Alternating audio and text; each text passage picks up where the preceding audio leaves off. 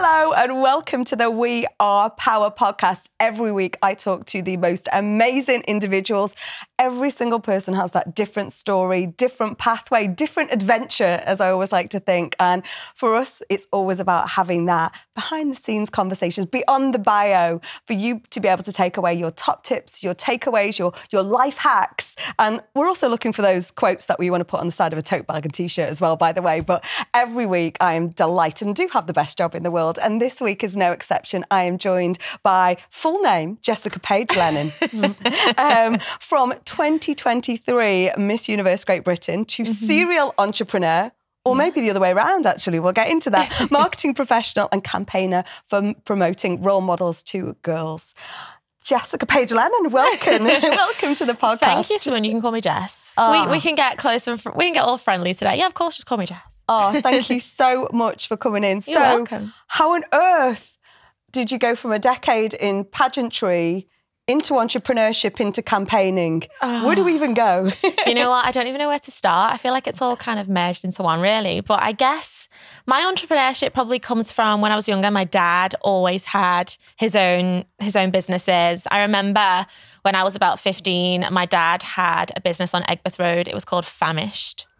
And he had me working part time there on a weekend when I was about 15, buttering the sandwiches that he would give out of a lunchtime. So had a little deli sandwich bar. So I guess the entrepreneur side of me is kind of always see I've always seen my dad kind of have his own businesses and you know have that freedom of being able to kind of look after his own diary, take holidays when he wants and have that freedom.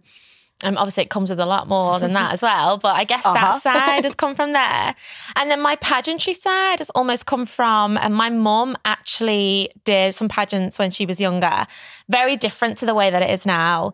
But I remember um, we used to flick through. She used to cut some newspaper articles out of like newspapers and magazines, and she had this like little portfolio. And I remember when I was younger, I would look through this this portfolio of her little snippets from when she was younger, and I always used to think, wow, she looks so good with these.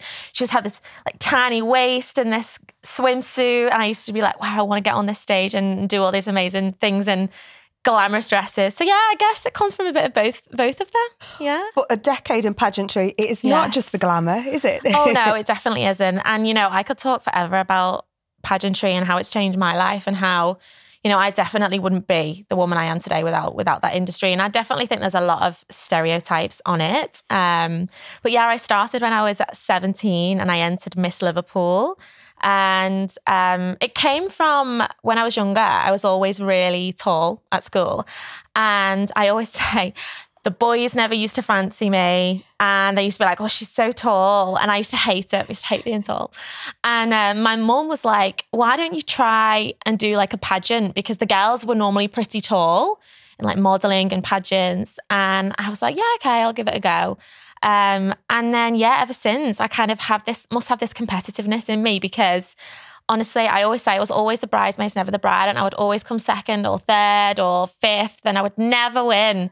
And it wasn't until last year when I turned 28, which I actually won my first ever competition, which is also the best competition in the UK as well. So saved the best till last, really, didn't I? But what did you do to deal with those kind of setbacks yeah. along the way?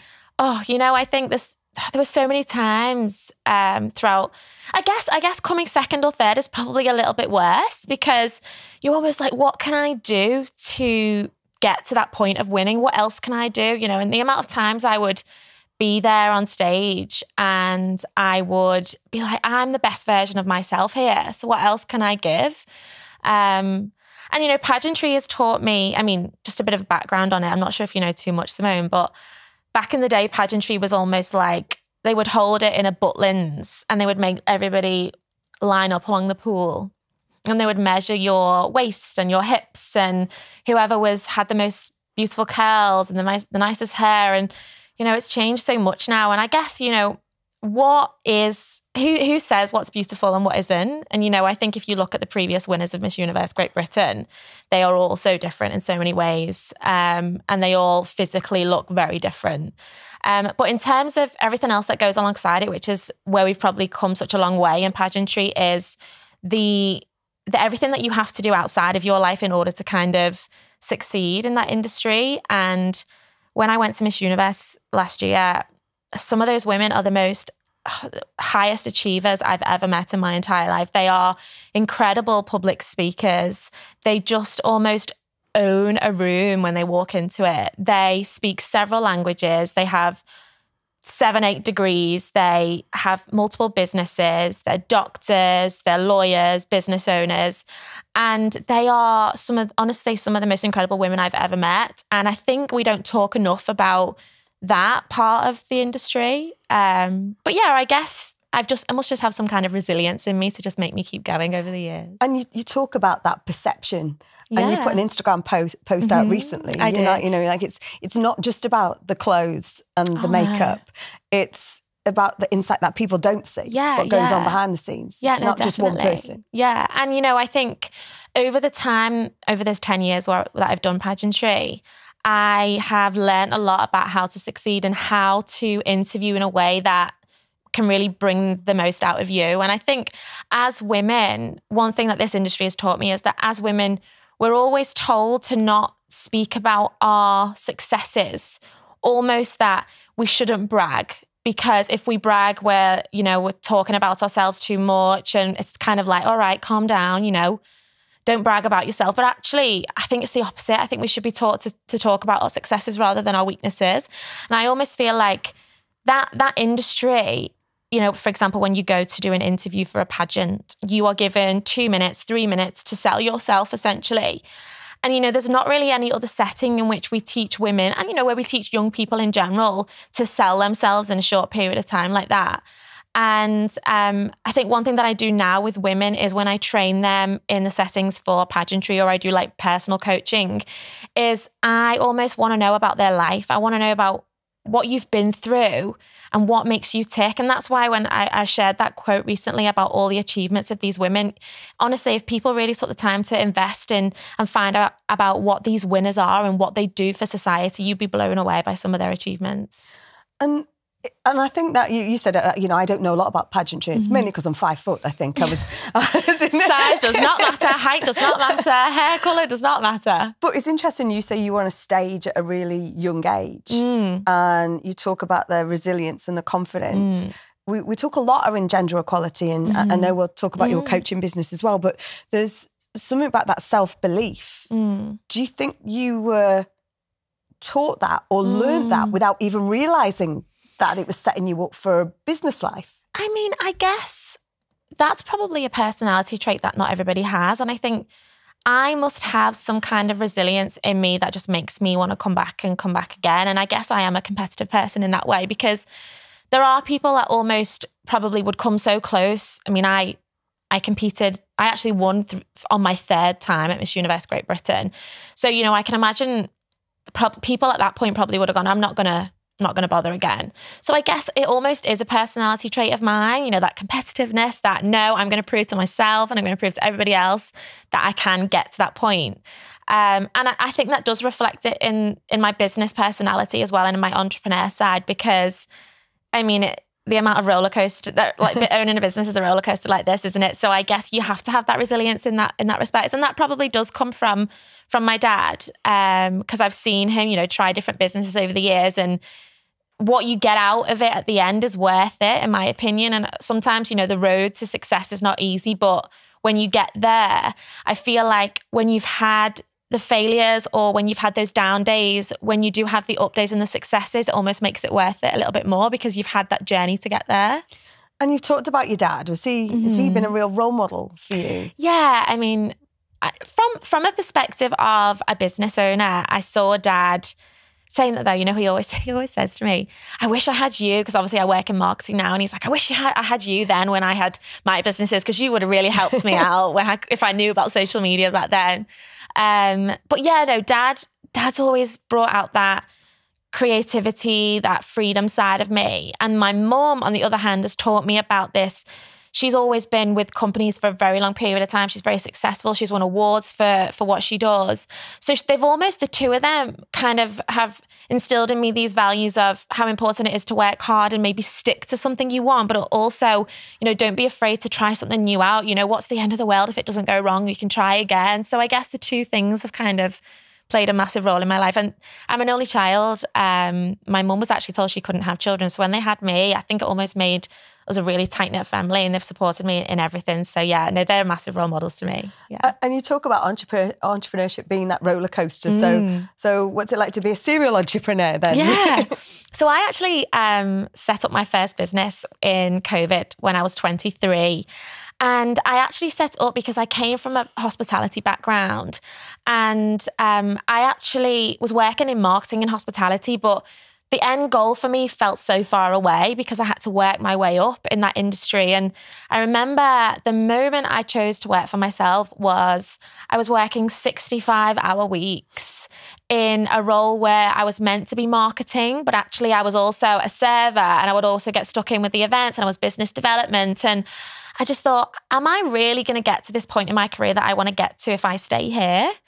And um, I remember my business partner at the time, he found this idea when he was traveling, and it was the idea of a cheesecake on a stick.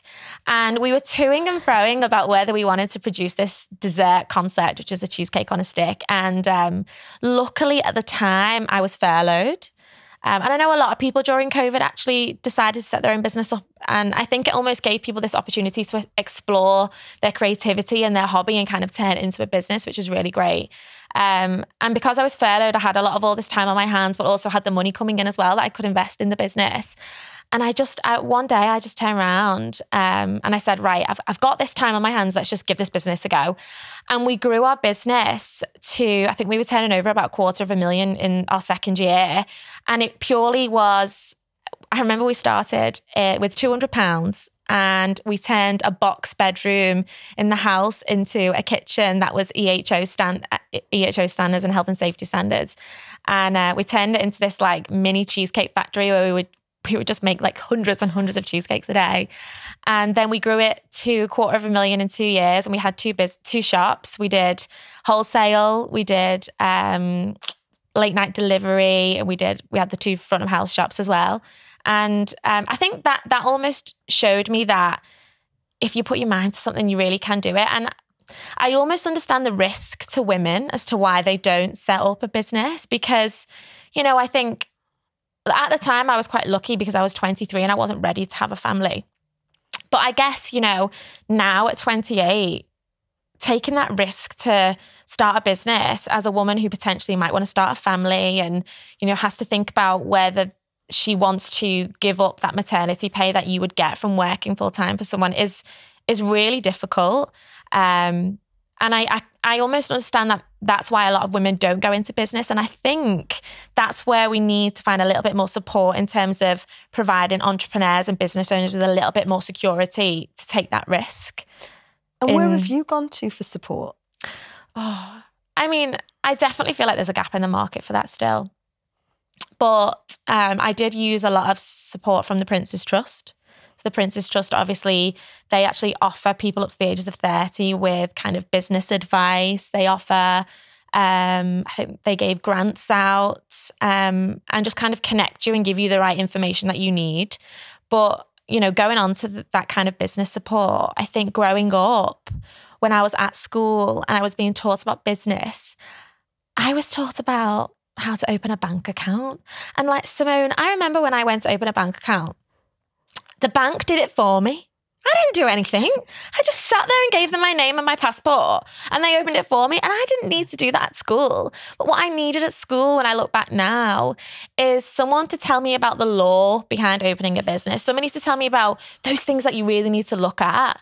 And the reason why I ended up losing my business, which was my dessert business, was because my partner at the time uh, didn't actually want me to become a shareholder of that business. And I actually had spent two and a half, three years of my life growing this business that was my baby. And I lost that business because I didn't know how important it was to be a shareholder in a business. And, you know, I'm not a, not a partner in that business anymore. And I stepped away.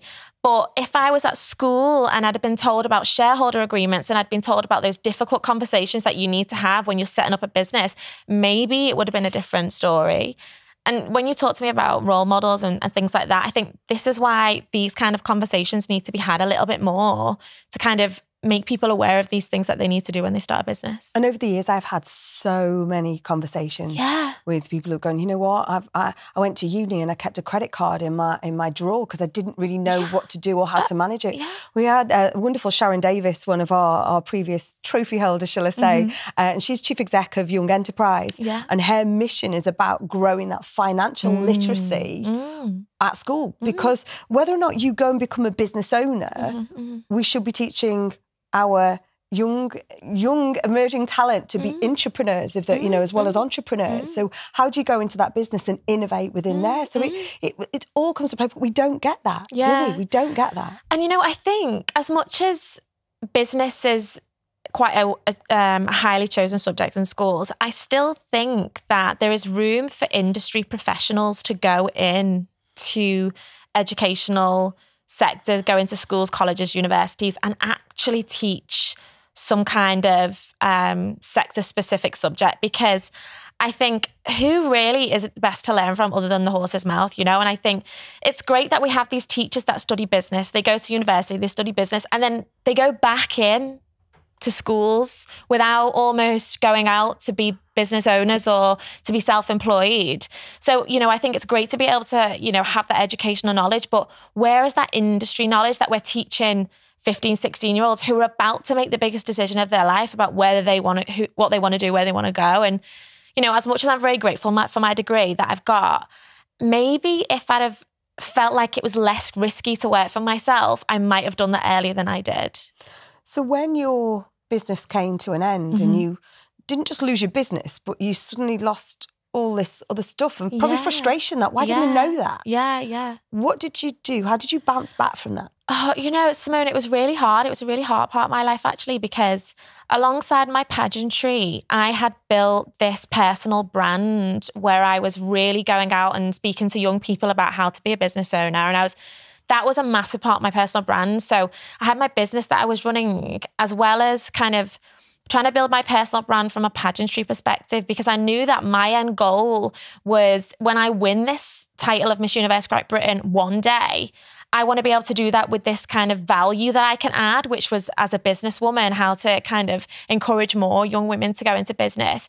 So almost when I lost my business, I almost felt like, why do why will people want to listen to me? I've lost my business. So what am I going to show? You know, like I, I don't have this successful business anymore. And I, I did feel like I lost a little bit my identity, really. And it took a lot for me to kind of realize that actually those what what happened to me within that business actually just amplified my story and kind of gave me a little bit more reason to speak about it and what and to teach people. Um, but it took me a long time to to almost go back to networking events because so many people knew me for, for a long time of having this really cool dessert brand. And then one day it was just all gone. And I had to explain that. It was quite raw at the time as well because whenever I do anything, I'm I put everything my all into something. So when I lost that, I was just like, I don't know what I'm going to do. Like I'm absolutely devastated. Um, and you know, the truth behind it is I struggled and I had to go back into working full time to build that money pot up again in order for me to go and, and set something else up again. And and now one thing I've learned from that experience is I now work full time for someone else. I have a freelance social media business. I am launching my um, agency for professional women, and I also have my coaching business. And I do believe that having multiple streams of income is so important to kind of allow you to have that financial freedom and just kind of relax a little bit with all these multiple streams of income coming in. But I, I think like that part of my life was really hard. But again, you know, it goes back to that resilience that I think I have inside of me. And I guess, you know, like I said, you have these re- these really low dips in your life, and it does come in stages. It goes up and down. It goes up and down. But then that low dip in my life almost spurred me on to go and win Miss Universe Great Britain because I lost my business in the December and I won Miss Universe Great Britain in the July. And when I went into my interview to win Miss Universe Great Britain, I was so honest and raw. And I said, six months ago, I would have come in here a totally different person. Six months ago, I would have come in and I would have said, I've got this business, I'm a very successful business owner, but actually, I come at you now with a different perspective. And that is, I've learned and I know now what I need to teach other people. And I think almost that's what allowed me to win because I was so honest and about my story. Um, so I guess, you know, everything happens for a reason. And I say this all the time, you know, what's meant for you will not pass you by. And clearly that business was not meant for me at that time and I was meant to walk away. We do a lot of work with undergrads and further education students. Yeah. And actually, when we bring our people from all walks of life, you know, Mm-hmm. sort of senior in their business, on their way up, entrepreneurs, what is always the most encouraging Mm-hmm. is that from the student's perspective is for them to hear from when things haven't gone right. Yeah. Because especially when you're at a point at that early stage in your career Mm-hmm. or before your career and you suddenly hear that someone hasn't had it all because they look Mm-hmm. Yeah, fabulous or because they've got a great story or their personal brand. Yeah. But to hear it's not all right is so refreshing Mm, on honesty. So that honesty thing is is is so key. And is that Yeah. and this is you- drive a campaign now, don't you? Which is Mm-hmm, Yes. all around encouraging um, Yeah. you know, sort of young girls and role models. Yeah, no, which is at the heart of everything we do. Yeah. I think so. So when I when I went through that period of my life, I started. Uh, well, actually, I started Take Her Lead um, before that happened to me because I just wanted to encourage conversations between different business owners, uh, also like women in STEM, um, women in finance, and just kind of maybe stop covering things with roses and actually have proper conversation. Um, and I think again, this goes back to me saying how we really need to hear from people who work within industry because without that, we we don't really teach properly. You know, not everything is great. You know, I think it's important to, in order for us to allow young people to take the right routes in life, we need to tell them the good and the bad, you know? And I think you're so right when you've just said that they they value honesty. You know, we they value when someone says, you know, it's not going to be great all the time, but if if this is what you love, then you'll almost come out the other side no matter what. So Take Her Lead originally started because I wanted to just encourage these conversations. And it's almost kind of grown from there into now I do my Take Her Lead coaching where I kind of work with women to kind of figure out what they give, what their advocacy is, what their values are. Because honestly, I think a lot of women don't really know who they are and what they stand for. And you know, the amount of women that I'll speak to, like for example, I spoke to um uh, a young a young girl the other day, and she was talking to me about her story of she was like, "Well, I don't really know. I don't really know what I do that's that's different." And I was like, "Well, take me through your life. I want to know your childhood. You know, where does this start from?" And she was talking to me about how she's a massive gym gym person, gym freak. And she said, I use this because my parents went through a divorce and I use this as a way for me to cope with being able to go through this.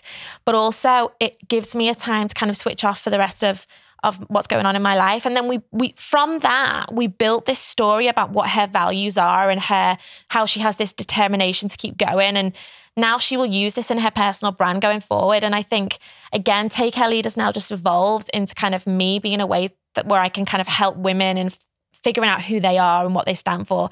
And a lot of the time, it helps them to kind of redirect their their career journey a little bit as well. And because, you know, they say that you change your career like four times in your entire life, which is just crazy. But, you know, and I think whenever we do, we always think, oh my God, no, I can't. I can't do that. And I can't change careers. But actually, it's actually quite refresh- refreshing and healthy to do that. And that's why I love this podcast because Yeah. everyone has that different story, that different adventure, Yeah, right? yeah, yeah. What's your superpower? My superpower, oh my goodness. Do you know what? I, I definitely think I have a few. Um, I I'm a really good listener. And also, I would say I'm a good public speaker. Um, I think, you know, one thing that from uh, the, the weekend just gone, I've just handed over my title as Miss Universe Great Britain. And the the feedback I got from the women that spoke to me, they were like, you just you've been quite normal and humble and you've just kind of listened to us and listened to our story. And I guess I think listening can be a massive it's a massive benefit to a lot of people because you could, I don't think you can give advice until you listen. So yeah, I would say my superpower is just being a good listener. And Yeah. what advice would you give back to your younger self? When you're buttering that bread for your dad In the sandwich shop. and he's telling you you haven't reached the corners properly. Mm, yeah, yeah, that's so true. Do you know what I would say? Um, I think I, do- I think I might have said this quote to you. You know, what is meant for you will not pass you by, because, um, and I just live by that quote now. And I think, as much as I tried for so long to win Miss Universe Great Britain, if I hadn't have won, something else would have just been around the corner for me anyway, and I would have, it would have been for a reason that that wasn't right for me at that time. Doesn't mean that it's not right for me at some point, but I do believe that whatever's going on in your life at that point is meant meant to happen. And if and sometimes we don't always, you know, achieve our dreams, but that might be because it's not meant to be, not meant to be for us.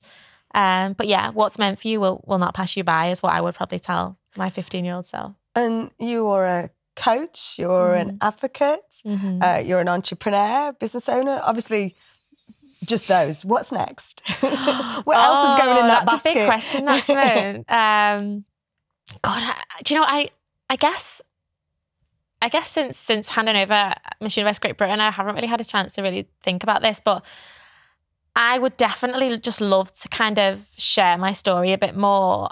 And since I've been doing a lot more of my coaching, I think to myself, I should have studied psychology or something like that, you know, because thinking about it now, I actually love just having conversations with people. I love just speaking to people and hearing about their stories. But yeah, I definitely think I want to move into more of a um like a teaching, coaching perspective, really, and a, maybe more of a, a speaking role.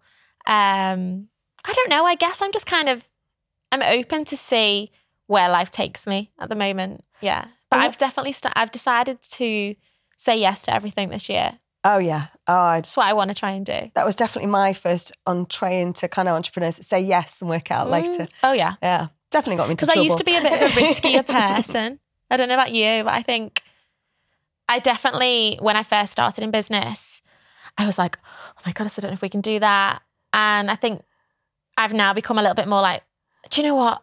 We'll just give it a go. We'll try it. And I'm glad that I've kind of become a little bit more like that. I definitely could be more like that, but you know, just saying yes to everything. If somebody, if one of my friends asked me to go to Palma, I'm going tomorrow. and is that what happened? Is that how you got into scuba diving? Do you know what? right. Well, actually, this just goes to show how varied pageantry is. So, one year I was offered an opportunity to do a pageant called Miss Scuba United Kingdom. And yeah, who'd have thought? Who'd have thought? And actually, it was, I just finished competing for my second year at Miss Universe Great Britain. And I just wanted to have a bit of fun. And somebody approached me and they said, There's a competition. And basically, you get a free scuba diving license. We'll take you to Fuerteventura for the week and you'll dive, you'll learn to dive, you'll meet all these amazing people. And I thought, yeah, of course I'm going to do it. So I actually flew to Fuerteventura and they paid for me to do my scuba diving license. We did some, we did a full week of diving. We saw sharks. It was amazing. So yeah, that's another reason why I'm such an advocate for pageantry because I travel the world. I have all these skills. Um, but yeah, so that's that's how I got my scuba diving license. Who knew? And Who knew? Jessica Page Lennon, what is even at such a young age, what is your legacy that you're going to leave behind? Oh, you're asking me some tough questions here, Simone. Um, but do it with a smile. Look at that. You can't. my legacy. You know, I think, I guess I just want to be known for, you know, never giving up on your dreams. Um, I think no matter how many times life just wants to tell you, no, this is not for you. I guess I almost want to just be known for whether or not I succeed, I always gave everything 100% and I just kept going. Um, because, you know, I'm so aware that I'm in a very lucky position to have won the biggest competition in the UK and to go to represent my country on an international stage. And it was a dream of mine since I was 14 years old. But I'm also aware that there's a lot of girls out there that don't get that opportunity. And one thing that I want people to know about my story is that it didn't come straight away. It there was a lot of ups, there was a lot of downs, and as much as maybe I show and like we all do on social media how great life can be, you know, it's not it's not all like that. There, there is ups and downs, and almost just remember that you'll get there eventually, and it will all work its, itself out. Yeah. More honesty. It's that honesty yeah, and authenticity. Of course, of course. Jess, thank you so much for thank joining you. us in the We Are Power studio. I have loved our adventure from pageantry to entrepreneurship to I'd be devastated too. Cheesecake on a stick. I, I mean, know, that was right? just it's genius, delicious. right? You never know. Might but- bring it back oh. 2.0. Oh no, no, no! There'll be something way better. Uh, thank you for all your tote bag quotes as well. We love them all. I think we'll be now expanding into t-shirts as well. But seriously, I think the the the messages and the lessons that you learn, irrespective of what your journey is, I Mm. think the more that you can pass that on, the more that you can use your voice Mm. to amplify and to share what you do, it motivates and inspires others. So Thank you so much for having me. I really appreciate it. Oh. And I've been I've been looking at We Are Power Women for a long time, and you know it's great to be able to speak about my journey and hopefully inspire other people. always, you know, we're always a big fans. Everyone is a role model. Yeah, Everyone is a role model. And if one person goes away and does one thing differently or says that yes and works out later or doesn't worry because Mm. Yeah, it's not going to yes. pass you by. No. It's there. Yeah. Yeah. Thank you. Thank you so much. And thank all of you for watching uh, and listening. We love our weekly podcast. We love these different stories. We are so immensely uh, just sort of motivated, inspired by every single conversation. I hope you are. Please do join in the conversation on all of our socials Twitter, Instagram, and TikTok. We are power underscore net. And Facebook and LinkedIn, we are power. Please do leave us a, review. We love those. And please reach out and share and celebrate. We'd love to hear from you. Thank you so much for joining you. My name is Simone, and this is the We Are Power podcast.